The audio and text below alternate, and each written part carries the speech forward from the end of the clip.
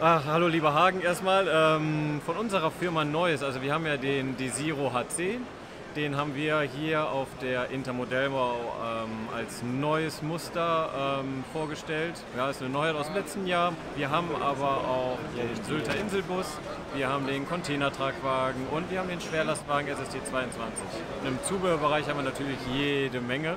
Ja, da haben wir unsere liebe Lena, die das mit Sicherheit gleich einmal kurz präsentieren kann.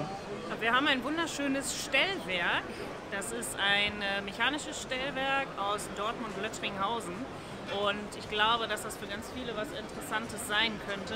Und das zeigt vor allen Dingen, dass mit Lasercut alles so möglich ist. Ne? Es ist also komplett aus Karton. Wie auch dieses Bahngebäude, in das man, sehr ungewöhnlich, von hinten in den Wohnbereich schauen kann. Es ist das Bahnhofsgebäude von Kamen und wenn man so will, eine Hommage an den Ort, in dem die Modellbahnunion zu Hause ist. Wir haben hier was ganz Exotisches. Der Desiro HC, der fährt nämlich auch in Ägypten. Und weil Siemens äh, das Rollout hatte im letzten Jahr, haben wir natürlich auch gesagt, wir helfen euch, äh, damit das alles viel schöner ist und haben auch das äh, Modell realisiert.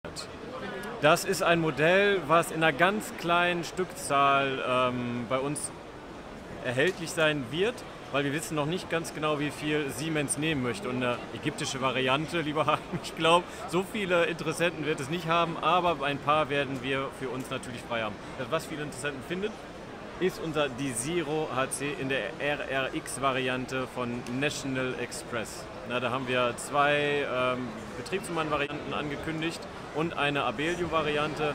Ähm, Hintergrund ist, Abellio gibt es äh, nicht mehr und bei National Express, die fahren jetzt natürlich noch ähm, ganz frisch durch die Gegend und sehr oft in Doppeltraktion, was bei dem Modell, äh, Modell natürlich auch möglich ist ihr habt dieses Jahr irgendwie Geburtstag, oder wie war das? Oh, das stimmt. Wir haben 25 Jahre Modellbahnunion und 20 Jahre der M-Toys. Das Ganze feiern wir am 28. und 29.06. bei uns am Standort in Kamen, Gutenbergstraße 3a.